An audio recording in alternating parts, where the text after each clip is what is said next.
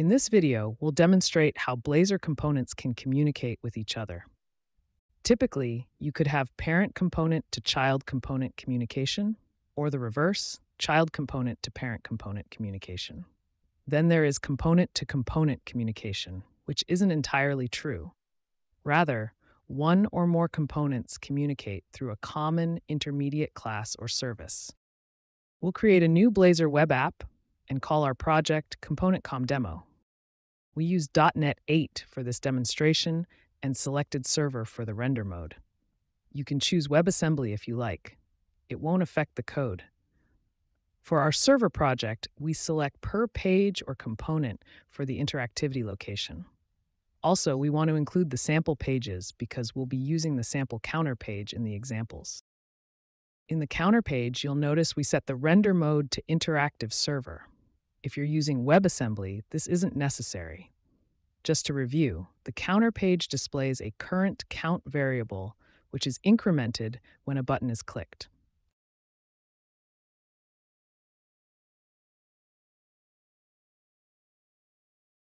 Let's start with parent-child component communication. We'll add a components folder inside the components folder. Here we'll create our normal components as opposed to the page components. Page components have routes and a URL so you can navigate to them, while normal components are embedded inside other components and doesn't have a URL to navigate to.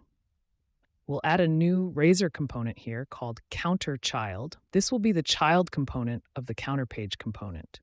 It will simply display a header and the value of its count parameter. In the code section, we create a count parameter. This is a value that will be passed from the parent component. Before we continue, add the using directive to the imports file so we don't have to keep adding it to our components. In the parent component, the counter page, embed the counter child component and pass the current count value to the count parameter we created. Now, whenever the current count variable changes, the count value in the child component will be updated.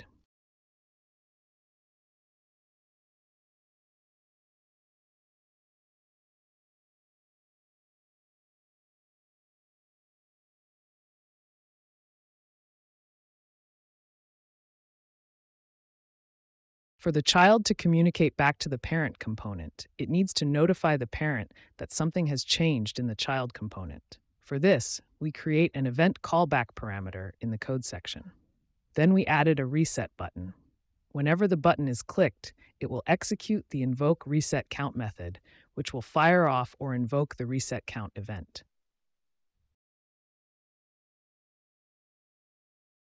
In the parent component, we add the new reset count parameter and specify which method to execute when the event is invoked. Here, the reset count handler method will reset the current count variable to zero when the event is invoked.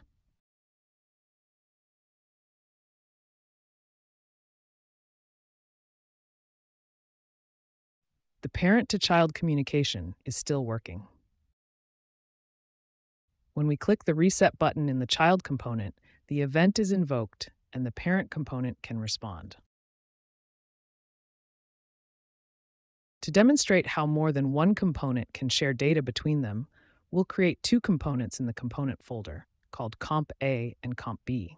For now, they'll just have headings, but we'll get back to them in a moment. Next, we create a page component and embed the Comp A and Comp B components. And for easy access, we added a nav item for this page in the nav menu. Now we need to create an intermediate service the two components can share. Add a services folder in the project and add an interface and its implementation class. We'll call them iComp service and comp service. The first thing the service needs is an action event to notify all the components that use this service when a change occurs. Then we have a count property that all the components can access, and an increment count and reset count method. In the comp service class, we inherit from iComp service and implement the count property and action event. In the increment count method, we increment the count property. Then, if components subscribe to the onChange event, in other words, onChange is not null, we invoke the event. The same with the reset count method. We set count back to zero and invoke the onChange event if it is not null. To inject this service into the components, we register it in the program CS file and add a using directive for services to the imports file so we don't have to repeat it in the components. Now let's go back to our comp A and comp B components. First, we'll inject the service we just created. Also, we'll need to implement iDisposable. When we subscribe to the service event and the component is later destroyed, we need to unsubscribe from the event to prevent memory leaks. The component will display the count property in the service. And we created a button to execute the service's increment count method. To subscribe to the service's on change event, we'll use one of Blazor's lifecycle methods. When the component initializes, we add the component state has changed to the service's on change event. So when the event is invoked, the component will be re-rendered. In the dispose method, we simply remove the state has changed from the service's on change event. We'll make the same changes to comp B. Inject the iComp service and implement iDisposable. It will also display the count property from the service and have a button this will be a reset button and executes the reset count method from the service. Again, we need to subscribe to the service's onChange event in the onInitialized method and unsubscribe to the event in the dispose method.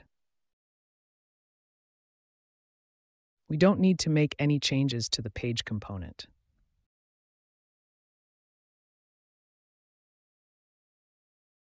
Now when we increment the count property in one component, it will be reflected in all the components that subscribe to the services on change event. The same with reset. The change is reflected in all subscribed components. Thank you for watching our video. For more tutorials on C Sharp, hit subscribe and click the reminder. Give us a like so the video can be visible to more people.